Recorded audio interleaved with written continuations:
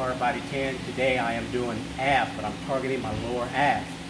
And how I'm targeting my lower abs is on the ab hang uh, uh, for my arms to hang in. That I'm going to raise, put the dumbbell between my feet. You don't have to do it with dumbbells. You can do it with uh, just body weight. So I'm going to do 10 to 12 reps, three to four sets. Like I said, it's to target my lower abs. I'm to bring my my legs up almost to my chest, so my pelvis won't do too much of the work.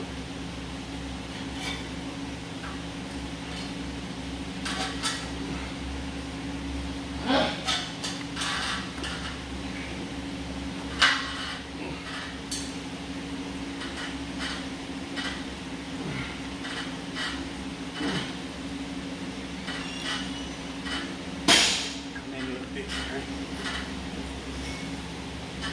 There you go.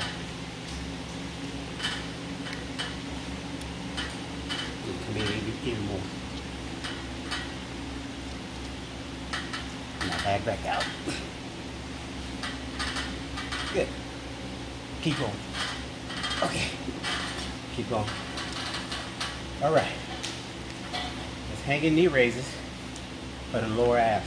10 to 12 reps. You can do it with body weight as well. This is how you isolate and target the abs. Make sure you bring your legs all the way up so to your chest so your pelvis won't do too much of the work. Let me know your comments. Don't forget to subscribe. Follow me on Instagram, Mr. Hardbody10. Have a blessed day, everybody. Cool.